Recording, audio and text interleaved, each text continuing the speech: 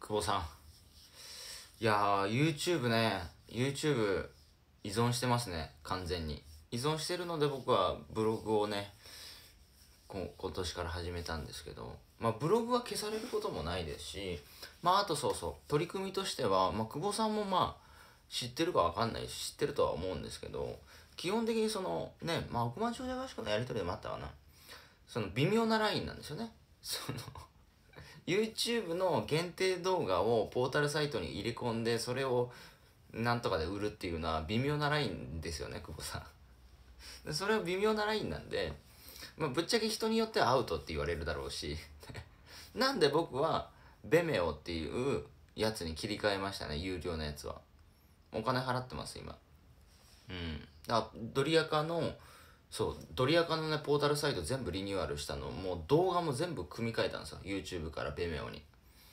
もうこれでもう大丈夫ですね。大丈夫というかまあ何も言われることはないと。まあベメオはお金払ってますからね。年間6万ぐらいあ6万か僕払払ってますけど契約して。月5000円ぐらいか。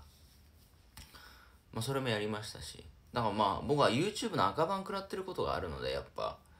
やっぱそこは対策しとかないと僕コンテンツ量増えるんでまあ全部切り替えねするの大変でしたけど 久保さんも今まで作った速稼塾の動画コンテンツを全部違うプラットフォームに入れ替えるってなったら相当大変ですよ。僕超大変だったので。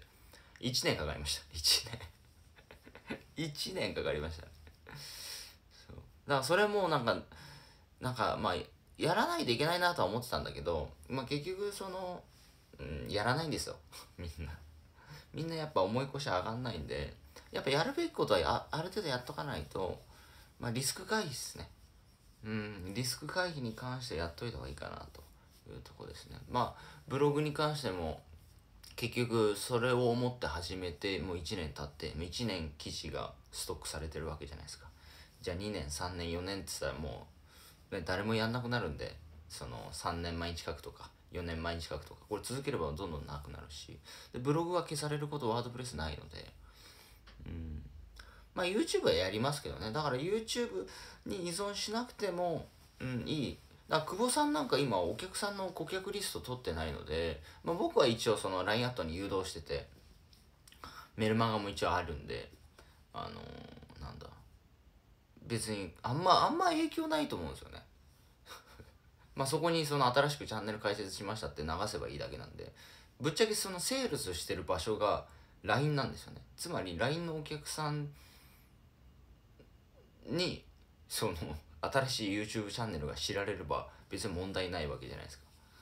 うん。あ顧客リストは取っといた方がいいと思いますけどね。今まあ昔は久保さん昔のストあでも速稼塾のお客さんいいいてるからまあ大丈夫ですね。速稼塾。うん。まあでも速稼塾まあだあれか。まあ表上ではやってないけどなんかいろんなやつ商品作れますもんね久保さんね。久保さん別に問題ないか。あの顧客リストはねあの取っといた方がいいと思いますんで。だからそのなんだろうな。僕はもうあの YouTuber じゃないんですよ。